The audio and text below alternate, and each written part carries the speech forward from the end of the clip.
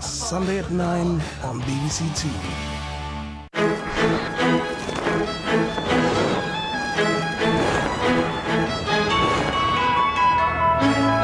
The news updates now on BBC One with Sophie Raworth.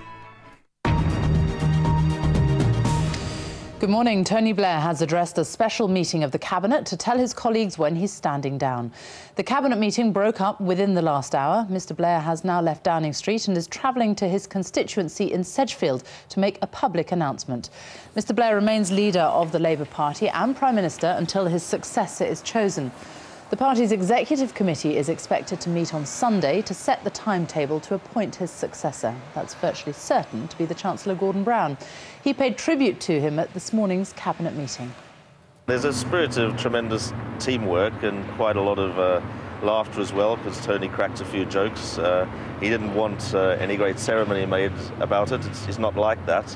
But Gordon Brown did pay a fulsome tribute, and that was as very much appreciated by all of us. Well, there's continuing coverage of Tony Blair's announcement that he is to stand down on BBC News 24 throughout the morning, and there is a special programme here on BBC One starting at a quarter to 12.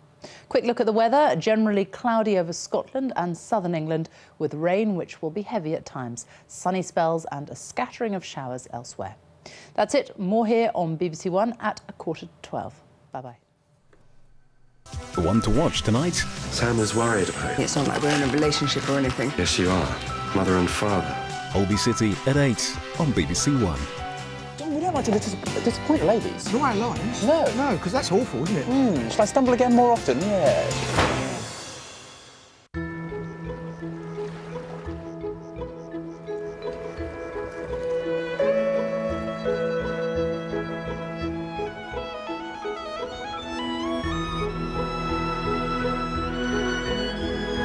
A change to the daytime schedule on BBC One now.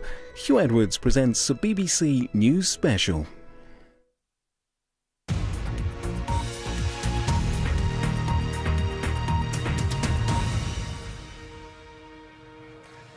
A very good morning to you from Westminster for this BBC News special on the day Tony Blair announces his plans to resign as Labour leader and, of course, as Prime Minister. Now, he told the Cabinet of his intentions this morning. Since then, He's flown up to Sedgefield, to his constituency, to make the formal announcement, which we are expecting, well, in the next 10 minutes or so. But um, uh, as you'll see, if we show you the scene in Sedgefield right now, uh, it's a scene where people are getting quite excited and looking forward to the announcement and exactly what Tony Blair has to say inside Trimdon Labour Club in his constituency in Sedgefield, the constituency he's represented, the people he's been part of their community for for well, since 1983 when he was first elected to Parliament. This is where Mr Blair has decided to make the announcement, long-awaited announcement, the announcement that he signalled he would be making before the last general election, before 2005, and of course there's been a lot of controversy about whether he was right to say so far in advance uh, that he wouldn't be serving um, a fourth term as Labour Prime Minister, but he's already broken several records on the way, and of course he has a decade of power uh, under his belt already, and uh, that's the scene.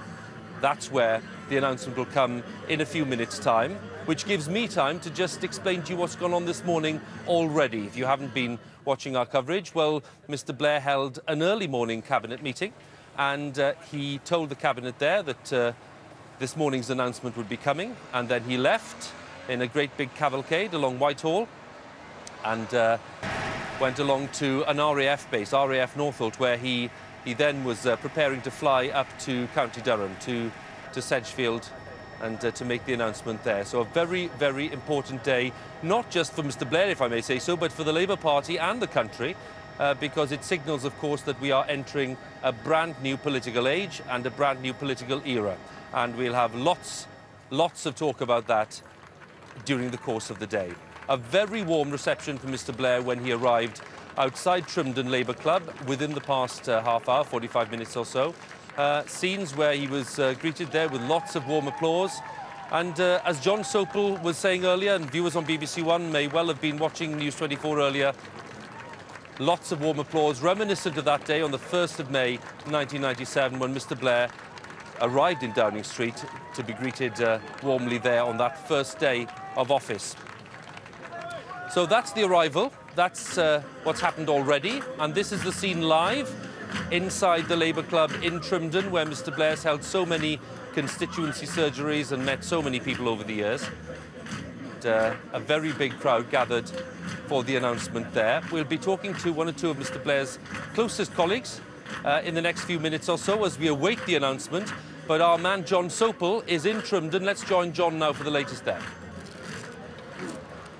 Huw, thank you very much. Yes, great excitement here among the Labour Party uh, supporters of Tony Blair because it was here, of course, in Trimdon Labour Club in 1994, after the death of John Smith, that Tony Blair launched his bid to become Labour leader. Here, of course, that he returned on the night in 1997 when he realised that he had won a landslide majority, and it is here that he's returned today to draw the curtain down on his premiership a decade on from uh, taking power. And as we soon can see inside there now, the crowds of supporters they're not thinking about Iraq today. They're not thinking about the cash for peerages. They're not. They're putting aside the problems that have beset uh, Tony Blair's uh, premiership, but instead wanting to concentrate on the sort of things that Tony Blair wants to talk about for his legacy: the record investment in the health service, the low inflation, the low interest rates, the uh, the fact that unemployment has remained low, that the economy has remained stable through this decade of Labour in power, and also celebrating the first Labour leader ever to win uh, three terms in office. Tony Blair is due on the stage there uh, very shortly. They've been playing the music of D:Ream. Things can only get better. And anyone who uh, remembers the 1997 general election will surely uh, remember that song which seemed to accompany uh, Labour anywhere uh, that it went. I'm joined here just on our little patch of grass across the street uh, from uh, the Trimdon Labour Club by our political correspondent uh, James uh, Landale. James, a celebratory atmosphere inside there, worth pointing out as well. The odd few protesters out here so that the legacy isn't entirely as Tony Blair would wish it framed. It's not. Um, before I answer that question, can I just give you a little bit of breaking news? I've just been told that the Prime Minister will give us a date uh, in his speech when he addresses us shortly, but that the date of his, it will be the debate date of his departure from Downing Street, not necessarily the date when Gordon Brown actually takes over as Prime Minister. And so that might be a little bit earlier than we're all expecting on, in all the schedules that we've got all planned. But as you say, the legacy issue, it's going to be clearly a mixed one. The voters have clearly made up their minds on how they view the Labour Party. We saw the results uh, that were quite poor for Labour last week. But at the same time, the polls show that the Prime Minister individually, 60% of people say we think he's a good, good Prime Minister. And interestingly, here in Sedgefield, you know, you can talk about Labour's problems in the rest of the country, and they are serious, in, particularly in the south of England, where Labour did so well in '97. Here, in one of the one of the wards in Sedgefield, Labour stood, and the Conservative candidate got no votes. Yeah, I mean, you know, there are always going to be core. Uh, places where the, the, uh, the, Labour Party remains as strong as ever, regardless of what happens. Here is one of them. The interesting question is what will happen to this part of the world when the Prime Minister leaves? OK, James, thank you very much indeed. Well, let's just dwell on those pictures inside the hall there because, uh, Huw, I think it may still be a little while uh, yet before Tony Blair uh, gets to his feet, but I think they are all very much, uh, well, look at them dancing. It's not even lunchtime yet and people are dancing. Back to you. John, may the dance continue. We'll be back to see what happens when uh, Mr Blair appears. If you've just joined us, it's a BBC News special from Westminster and from Sedgefield in County Durham because this is the day that Tony Blair will be announcing his plans to leave office, to resign as Labour leader and to resign as Prime Minister. We're expecting him to spell out some of the details. And as James Landale hinted, there may be even a date for when we'll have a new Prime Minister in Downing Street, in all likelihood, Gordon Brown. Now, what on earth happened at the Cabinet this morning? But that's pretty intriguing, isn't it? What was the response around that Cabinet table when Mr Blair told ministers? We'll be talking about that, but straight back to Sedgefield because I think that the first guests are arriving ahead of the Prime Minister, including, of course, Cherie Blair, who's uh, arrived in the Trimdon Labour Club to take her place in the crowd with members of the family and getting an equally warm reception. And uh, as uh, Cherie Blair takes a, takes place and uh, acknowledges lots of the members there in the audience. I think I've got time to pick up again on the theme of the cabinet, uh, because of course Mr. Blair told the cabinet this morning that he was going to be doing this today. Um, and David Miliband and Hazel Blears, two cabinet members with an interest in all of this, have been describing what was said. Here they are.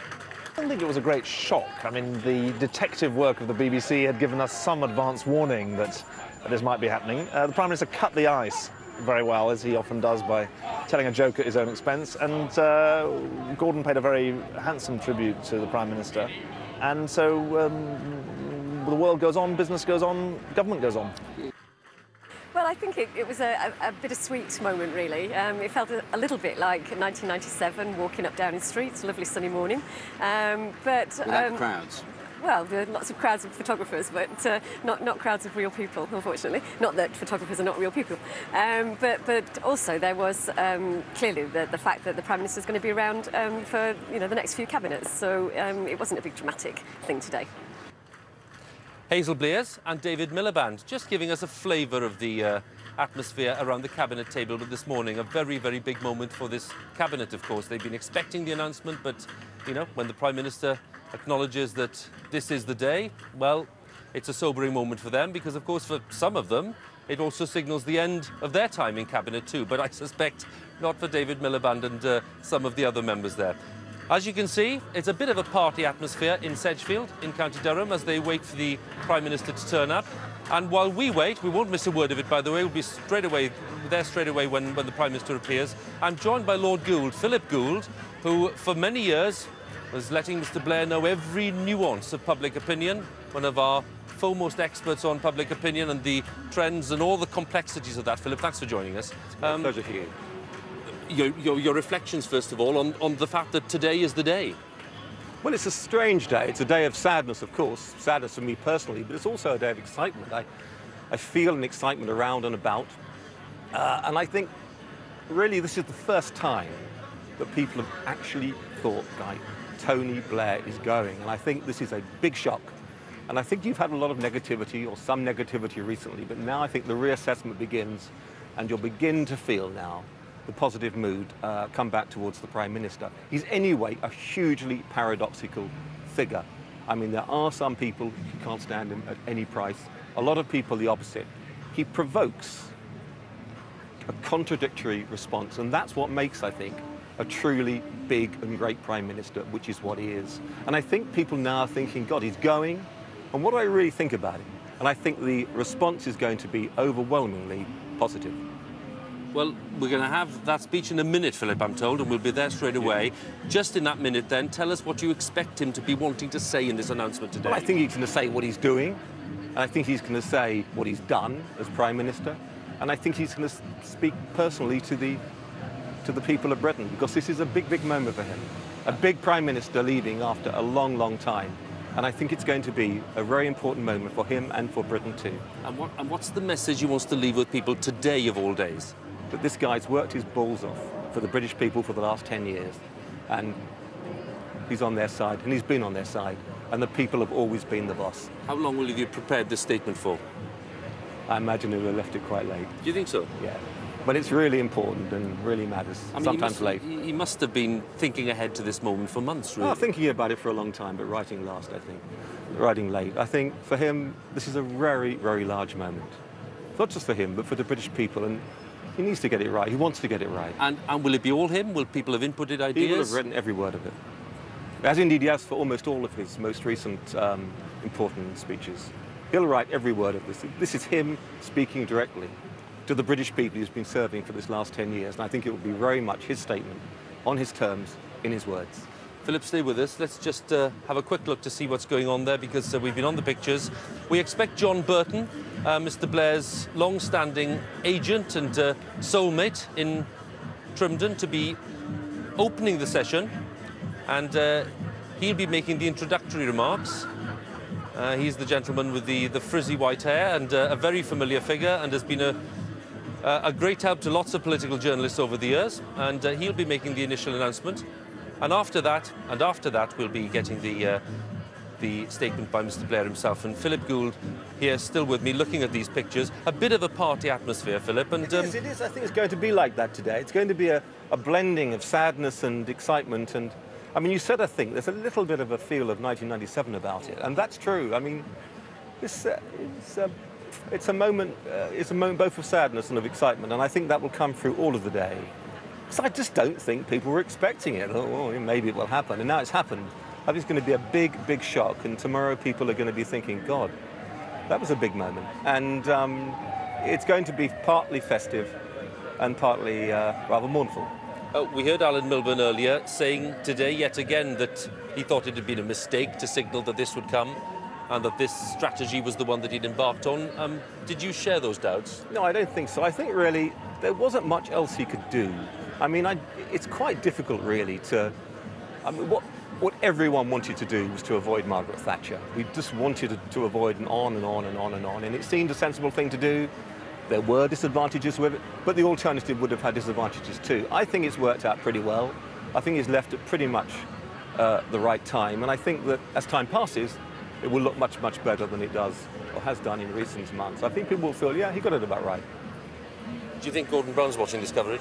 I imagine he is, but I think uh, uh, and Tony Blair will be watching his coverage on Friday.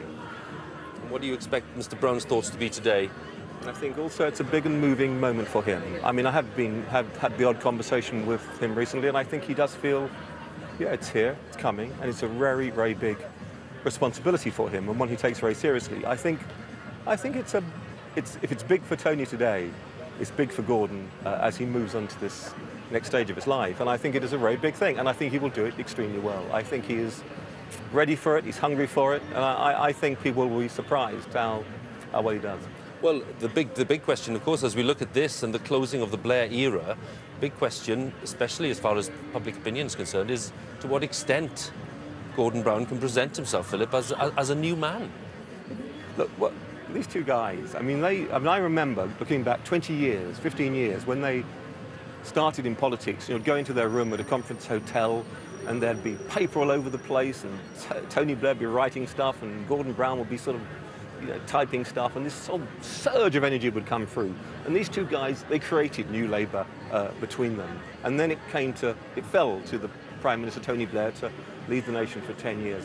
But this guy's not going to throw that away. He's going to be New Labour, but he will do it in his own terms, in his own way, and with his own particular uh, focus, and that's how it should be. So I think that, look, if anyone can follow Tony Blair Gordon Brown, I mean, I'm interested, and certainly given your expertise and the, the way that you know you understand the, the twists and turns of public opinion, you know, how on earth do you get to a position where voters look at Gordon Brown later this week and say, yes, I mean, this represents a fresh start. What's going to happen is that they're going to look at him afresh. I mean, they've seen him as a chancellor, and when he becomes prime minister, they're going to think, oh God, because they weren't probably expecting that really. They weren't expecting Tony going. They don't really expect Gordon arriving. They'll look at him afresh, and they will give him every single chance. And look, be honest, he's a different guy to Tony Blair. He embodies change. He has changed. So there will there will be a lot of change there as well as uh, continuity. I mean, but I, I'm confident he'll be given every fair chance by the British public. And when you talk of change, are you're talking about changes of you know, style, which are clear, changes of the way that uh, he wants to run his government, that'll be apparent, but surely not big changes of policy, because he's been allied to these big policies. What he needs to do is to balance continuity and change. And I think he is one of the, well, he and Tony created New Labour. He will continue New Labour, but he will do it in his own terms. And that is the right thing for him Big, ben is, Big Ben is striking midday, Philip. John Burton is going to the podium. Let's join him.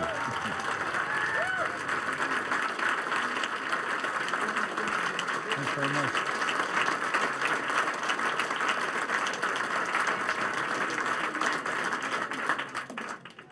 Thanks very much, friends. Um, this club, I don't know whether you realise, was a working men's club before it became a Labour club and it, wasn't doing very well, and so they took women onto the committee. that is true.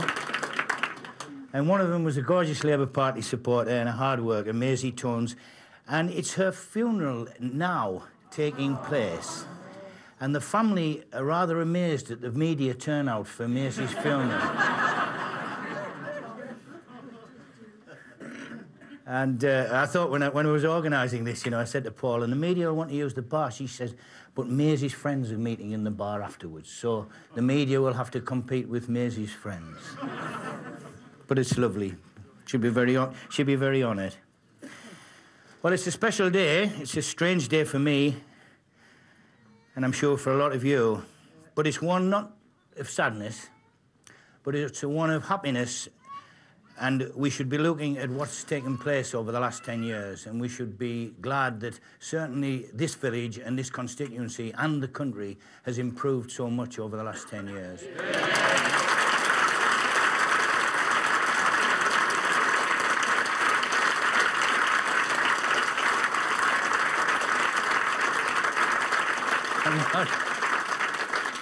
I've been giving a list over the last few days, you know, to all the media, so I'll not start now, otherwise there'll be nothing to say.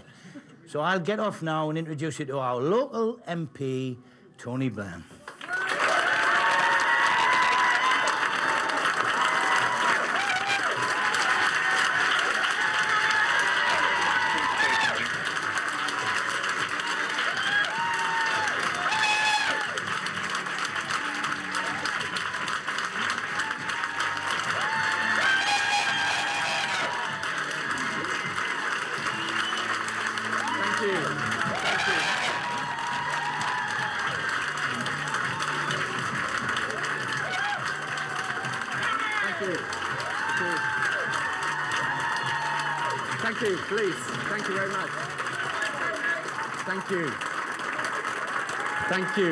Thank you all very much. Thank you. Thank you very much indeed. It's a, um, it's a great privilege to be here with you again today and to, to thank all of you too for, for such a wonderful and, and warm welcome and especially uh, Maureen and Maureen and her friends who gave me such a wonderful welcome. The only, the only thing is they, she was kind of, when I was coming in four more years and I was saying, Maureen, that's not on message for today. um, I just like to say uh, also, if, if I might, just a, a, special word of thanks to, to John Burton. Um, John, has, John has been my agent here for many years now. Um, he's still the, the best political advisor that, that I've got. He's, uh, He's all the years I've known him, he's been steadfast in his loyalty to me, to the Labour Party, uh, and to Sunderland Football Club, not necessarily in that order. Uh, we won't get into that. um, but you know, it's been my it's been my great good fortune at certain um, points in my life to meet exceptional people, and he is one very exceptional person. Um, and also, if I may refer to another exceptional person who's my wife, friend, and partner, Cherie.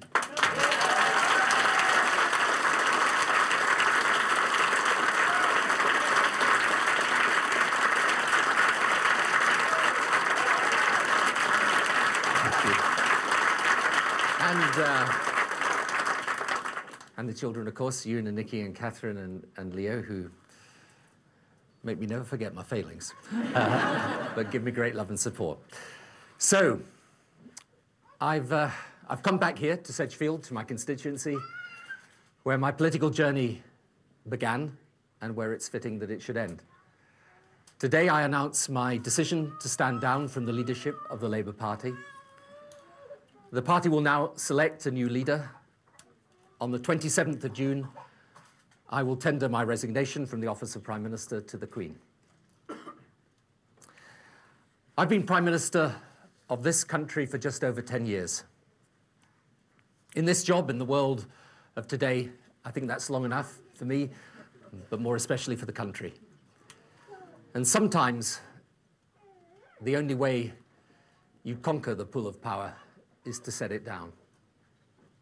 It's, um, it's difficult in a way to know how to, to make this speech. There's obviously judgments to be made on my premiership, and in the end, that is for, for you, the people, to make. I can only describe what I think has been done over these last 10 years, and perhaps more important, why I tried to do it. And I never quite uh, put it in this, this way before.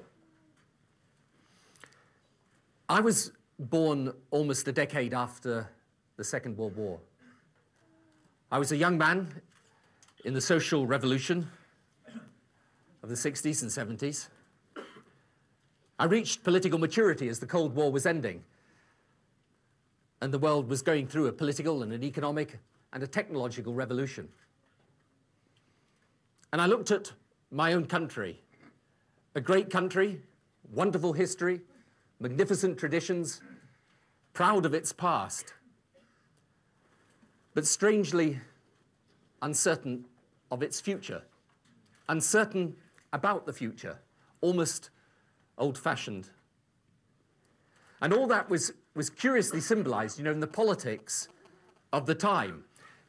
You, you had choices. You stood for individual aspiration or, and getting on in life, or social compassion and helping others. You were liberal in your values or conservative. You believed in the power of the state or the efforts of the individual. Spending more money on the public realm was the answer or it was the problem. And none of it made sense to me.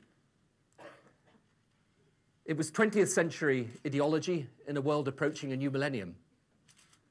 Of course, people want the best for themselves and their families, but in an age where human capital is a nation's greatest asset, they also know it's just and sensible to extend opportunities, to develop the potential to succeed for all our people, not just an elite at the top.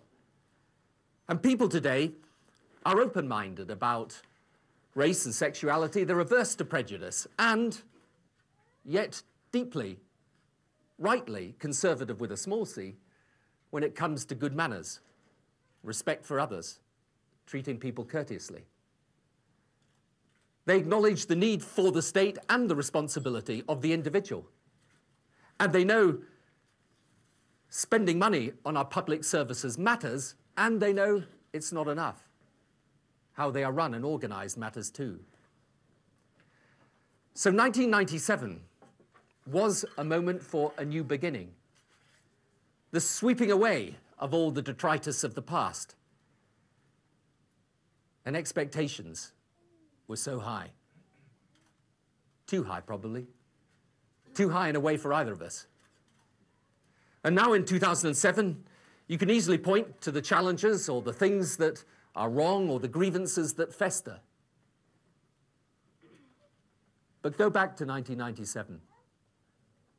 Think back. No, really, think back. Think about your own living standards then in May 1997 and now. Visit your local school, any of them round here or anywhere in modern Britain. Ask when you last had to wait a year or more on a hospital waiting list or heard of pensioners freezing to death in the winter unable to heat their homes. There is only one government since 1945 that can say all of the following more jobs, fewer unemployed, better health and education results, lower crime, and economic growth in every quarter. Only one government, this one.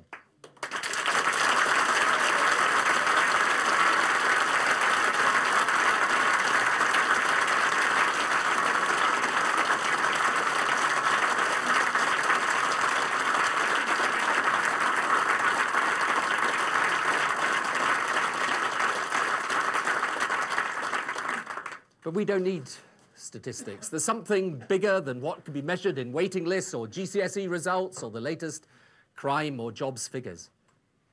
Look at the British economy, at ease with globalization. London, the world's financial center. Visit our great cities in this country and compare them with 10 years ago.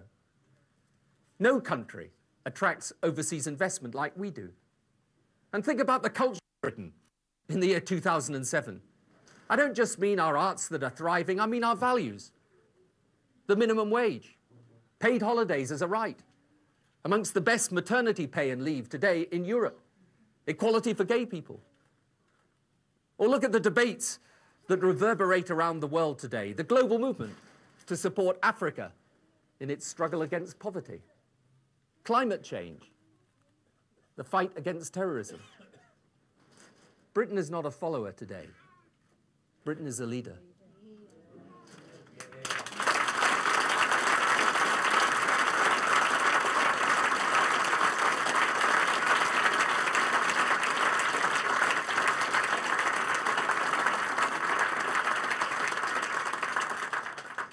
It gets the essential characteristic of today's world its interdependence. This is a country today that, for all its faults, for all the myriad of unresolved problems and fresh challenges, it is a country comfortable in the 21st century. At home in its own skin, able not just to be proud of its past, but also confident of its future. You know, I don't think Northern Ireland would have been changed unless Britain had changed. Or the Olympics won if we were still the Britain of 1997. And as for my own leadership, throughout these 10 years, where the predictable has competed with the utterly unpredicted, right at the outset, one thing was clear to me. Without the Labour Party allowing me to lead it, nothing could ever have been done. But I also knew my duty was to put the country first. That much was obvious to me when just under 13 years ago I became Labour's leader. What I had to learn, however, as Prime Minister, was what putting the country first really meant. Decision making is hard. You know, everyone always says in politics, listen to the people. And the trouble is, is you find they don't always agree. and when you're in opposition, you, you, meet this group and they say, why can't you do this? And you say, it's a really good question, thank you. And they go away and say, it's great, you really listened. And then you meet that other group and they say, why can't you do that? And you say, it's a really good question, thank you. And they go away happy that you listened. In government, you have to give the answer. Not an answer, the answer. And in time, you realize that putting the country first doesn't mean doing the right thing according to conventional wisdom or the prevailing consensus or the latest snapshot of opinion. It means doing what you genuinely believe to be right that your duty as Prime Minister is to act according to your conviction. And all of that can get contorted so that people think that you act according to some messianic zeal. Doubt, hesitation, reflection, consideration, reconsideration. These are all the good companions of proper decision making. But the ultimate obligation is to decide. And sometimes the decisions are accepted quite quickly. Bank of England independence was one which gave us our economic stability. Sometimes, like tuition fees or trying to break up old monolithic public services. The changes are deeply controversial, hellish hard to do. But you can see you are moving with the grain of change around the world. And sometimes like with Europe, where I believe Britain should keep its position strong. You know you're fighting opinion, but you're kind of content with doing so. And sometimes, as with the completely unexpected, you are alone with your own instinct. In Sierra Leone, and to stop ethnic cleansing in Kosovo, I took the decision to make our country one that intervened, that did not pass by or keep out of the thick of it. And then came the utterly unanticipated and dramatic September the 11th, 2001, and the death of 3,000 or more on the streets of New York. And I decided we should stand shoulder to shoulder with our oldest ally. And I did so out of belief. And so Afghanistan, and then Iraq. The latter bitterly controversial. And removing Saddam and his sons from power, as with removing the Taliban, was over with relative ease. But the blowback since, from global terrorism and those elements that support it, has been fierce and unrelenting and costly. And for many, it simply isn't and can't be worth it. For me, I think we must see it through. They, the terrorists who threaten us here and around the world, will never give up if we give up. It is a test of will and of belief, and we can't fail it. So, some things I knew I would be dealing with, some I thought I might be, some never occurred to me or to you on that morning of the 2nd of May 1997 when I came into Downing Street for the first time. Great expectations. Not fulfilled in every part for sure. Occasionally, people say, as I said earlier, the expectations were too high. You should have lowered them. But to be frank, I would not have wanted it any other way.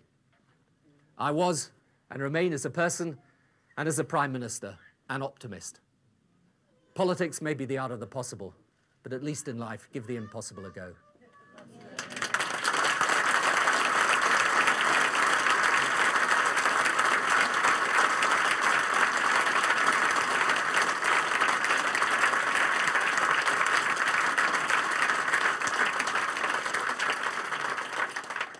So, of course, the visions are painted in the colors of the rainbow, and the reality is sketched in the duller tones of black and white and grey. But I ask you to accept one thing. Hand on heart, I did what I thought was right. I may.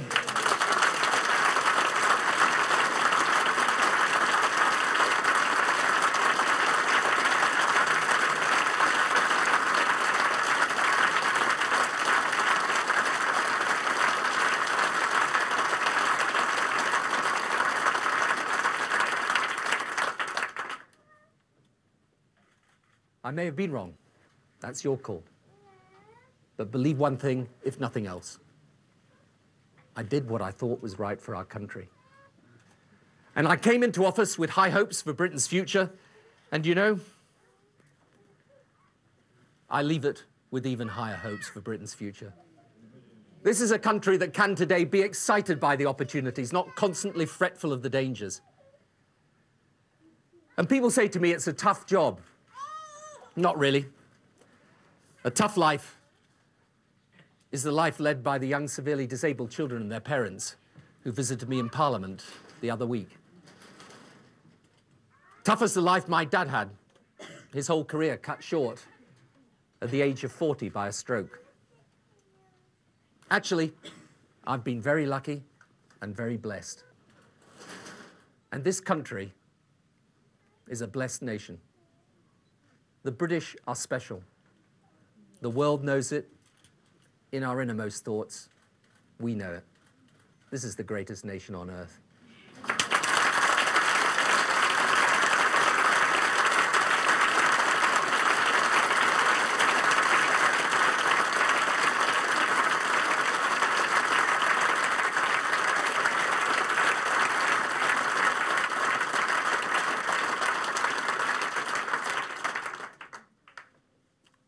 So it has been an honour to serve it. I give my thanks to you, the British people, for the times that I've succeeded, and my apologies to you for the times I've fallen short. But good luck.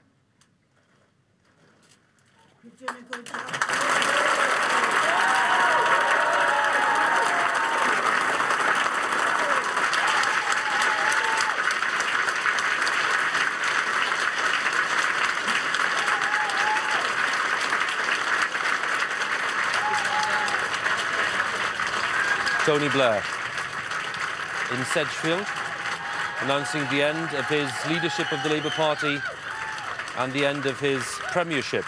The formal end will come on the 27th of June this year when he will tender his resignation to the Queen after the election of his successor, widely expected to be the Chancellor Gordon Brown. Mr Blair chosen to speak to his own people, to his constituents and party friends and family in Sedgefield, said he'd been very lucky to have led the greatest nation on earth, a blessed nation. He thanked the British people for their support over the past decade and acknowledged that he'd fallen short at times and apologised for that. Great expectations, as he put it, not fulfilled in every part, for sure. But much of the address was given over to a consistent justification of decisions he'd made in some very tricky areas, not least on Iraq and the aftermath of September the 11th, 2001. He said, hand on heart, I did what I thought was right for the country. So the statement in Sedgefield is over, and watching that with me here is someone who knows a good deal about the Labour Party, for sure. That's Lord Kinnock, Neil Kinnock, watching that with me. Lord Kinnock, what did you make of it? Well, I view today, and indeed watched Tony with the, a mixture of sadness at his going and anticipation of what comes next that will develop from the very, very strong platform that he's created with his colleagues over the last 10 years. Hand on heart, he said, I've done my best for the country. He's acknowledging pretty openly that out there in the country there are millions of people who disagree with him fundamentally on some things. He's a conscientious man, he's a devout man, and however much uh, people disagree, I have disagreed with him, you're absolutely certain that he has thought in depth about an issue, consulted about it, and come to a firm conclusion that's based on rationality, and that is what gives him the uh, incessant willingness to continue to press. The best instance of that is actually Northern Ireland, but there are many, many others. Um, understandably, he was very emotional at the end of that statement, and there'll be lots of people in the room who are emotional too. Mm. He chose to end on, on a double message, didn't he? Thank you for your support. I think I got lots of things right, but I apologise when I fell short. Um, why did he end on that? Because of his normality. I think it's one of the greatest attributes of dominating and distinguished figures like Tony Blair that they do have an innermost humanity and humility. And it wasn't any false declaration of humbleness. It's really what he means, and he said it as he feels it. Um, do you and other very senior people in the party fully agree with him that you know he leaves the country in a far better state than when he found it? I certainly do. Uh, looking at the stability in the British economy, low inflation, continued good economic performance, record investment by a very, very, very long stretch in health, education, trying to combat family poverty, and much else. Yes, this is a better country in which to live.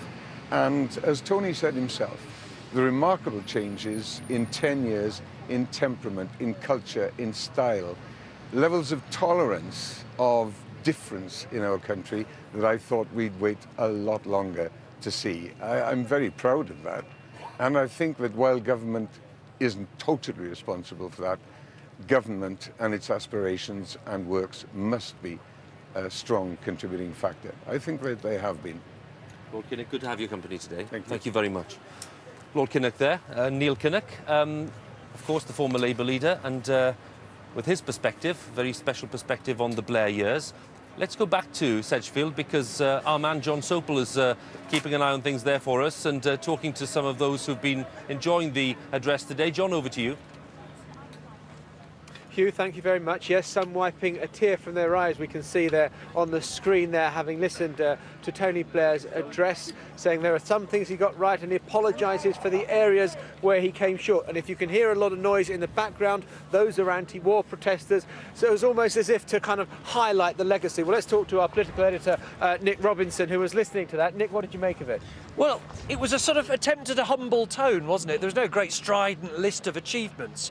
And yet, when he said, and he said it repeatedly, look, I apologise for those things I got wrong, he didn't tell you any he got wrong. He didn't take the opportunity to say, well, this was a mistake and that was. In fact, what he asked for was understanding and almost forgiveness. I did what I did because I believed it.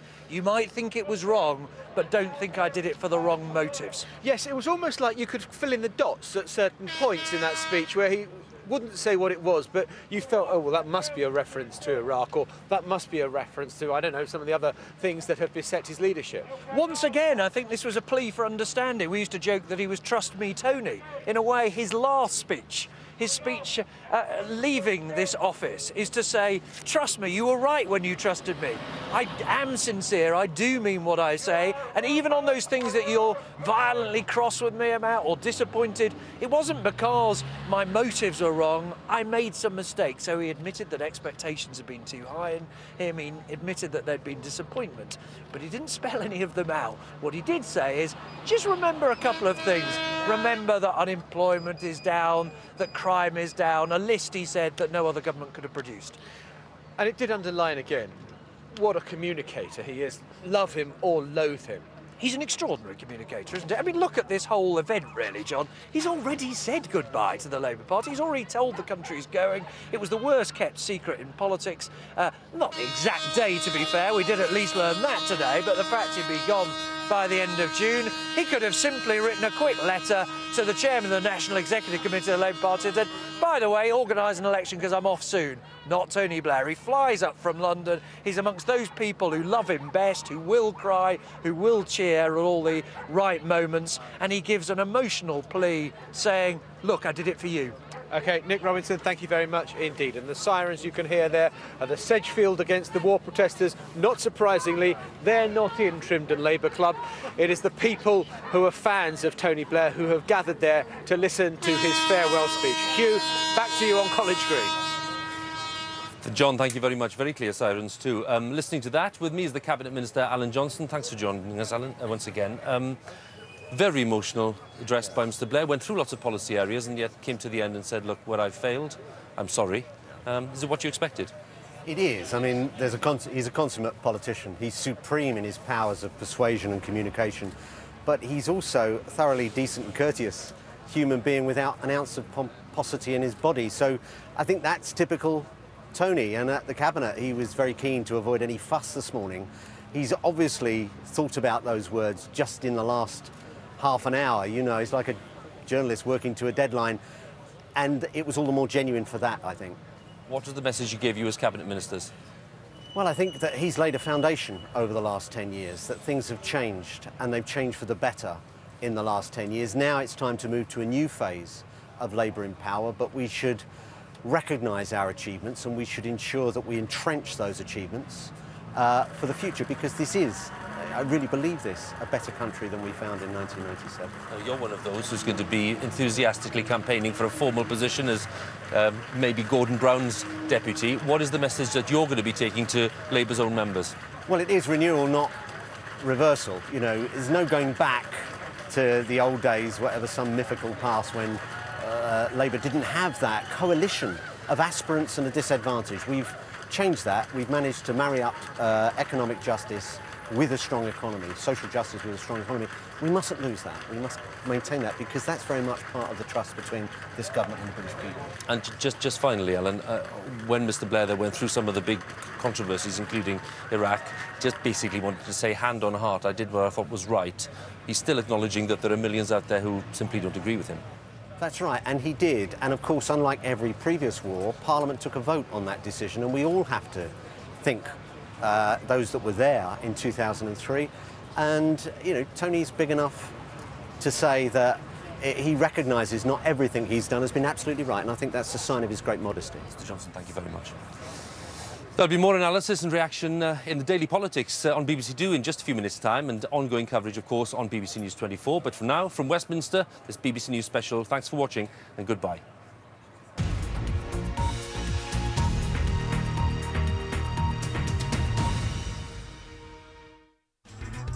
This afternoon, Boyd's torn between two women in Neighbours at 1.40. Michelle's mum makes a colourful appearance in Doctors at 5 past 2. And Jessica comes into the 21st century in Murder, She Wrote at 2.35 on BBC One.